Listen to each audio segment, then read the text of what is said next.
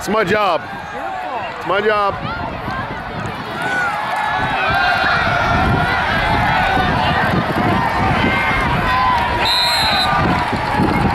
Center Westwood, of a quarterback.